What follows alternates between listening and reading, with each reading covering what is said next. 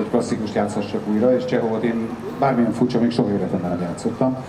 És a, a Rudi, amikor megkeresett, akkor nagyon-nagyon megtisztelő volt ez az ajánlat, és én azt remélem, hogy ez egy nagyon jó ö, találkozás lesz.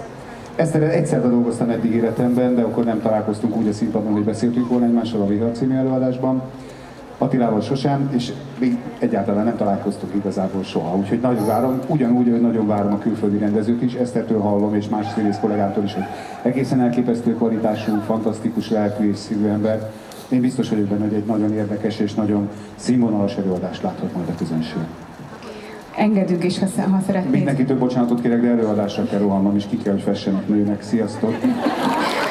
Nagyon köszönjük! Tehát Stól András is láthatják ősztől a Víg Színház színpadán.